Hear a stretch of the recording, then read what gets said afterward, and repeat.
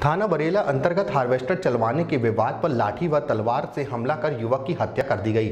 थाना प्रभारी सुशील चौहान ने बताया कि सुबह साढ़े दस बजे विक्टोरिया अस्पताल से सूचना प्राप्त हुई कि ग्राम गाडर खेड़ा निवासी पुष्पेंद्र पटेल को मारपीट में आई चोटों के कारण परिजनों के द्वारा उपचार हेतु लाया गया था। पुष्पेंद्र पटेल को चेक करने के बाद डॉक्टर ने मृत घोषित कर दिया। तो वहीं पुलिस ने पंचनामा की कार्यवाही कर शव को पीएम हेतु भिजवाते हुए संबंधित धाराओं में अपराध पंजीबद्ध कर विवेचना में लिया है। करीब की कब की?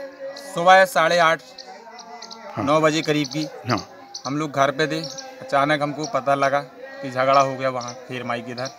तो हम लोग मौके में गए देखे तो खून वून बह रहा था शरीर से। कौन थे वो आपके? चाचा जी थे मेरे। क्या नाम था उनका? पुष्पेंद्र पटेल।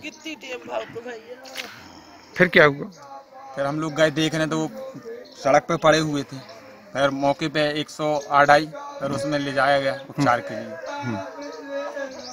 किन लोगों के ऊपर है आपको थोड़ा सा? अभी बीच में खेत में झगड़ा हुआ था। कब? दो तीन दिन पहले। जी। उन्हीं के ऊपर हम लोग को शक। कौन कौन है वो? वो तुलसी राम पटेल से हुआ था झगड़ा। अच्छा। हाँ। यहीं के रहने वाले? यहीं के रहने वाले हैं। आज करीब नौ बजे ग्राम गाड़ा खेड़ा में पुष्पेंद्र पटेल नामक व्यक्ति को चाकू की चोट लगने की सूचना आई थी जिसमें कि उनका पुराना विवाद हार्वेस्टर चलाने की बात पर से आकाश पटेल और उनके परिवार से हुआ था।